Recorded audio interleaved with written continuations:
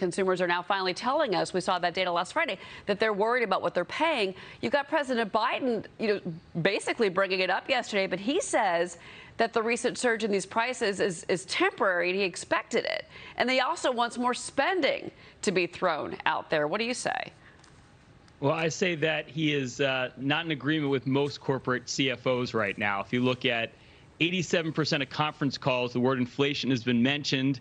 That's up from 33% last year during the same quarter.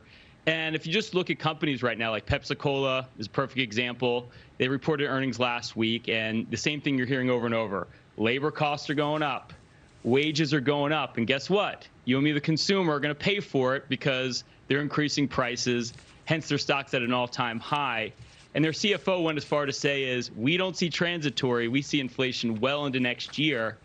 And I just wonder now with the labor market starting to heat up, the economy starting to heat up, and we have something like 8 million jobs uh, that have to be you know, brought back since we had the pandemic, yet there's over 9 million openings. How does that work? And how doesn't that cause more labor inflation by the end of the year? And if you want to add another $4 trillion plus in spending on top of that, that's only going to heat up the economy even more.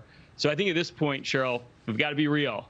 Inflation is probably going to be around a lot longer. It's not going to be as transitory as the Fed and as the president likes you to think right now. Um, and you've got to put your, you know, position your portfolio portfolio accordingly right now. And I talk about a lot. I talk about that a lot on my podcast. Yeah, no, and I know that you wrote this morning that you know the gods have given us a, a sell-off, and that that can't be a bad thing.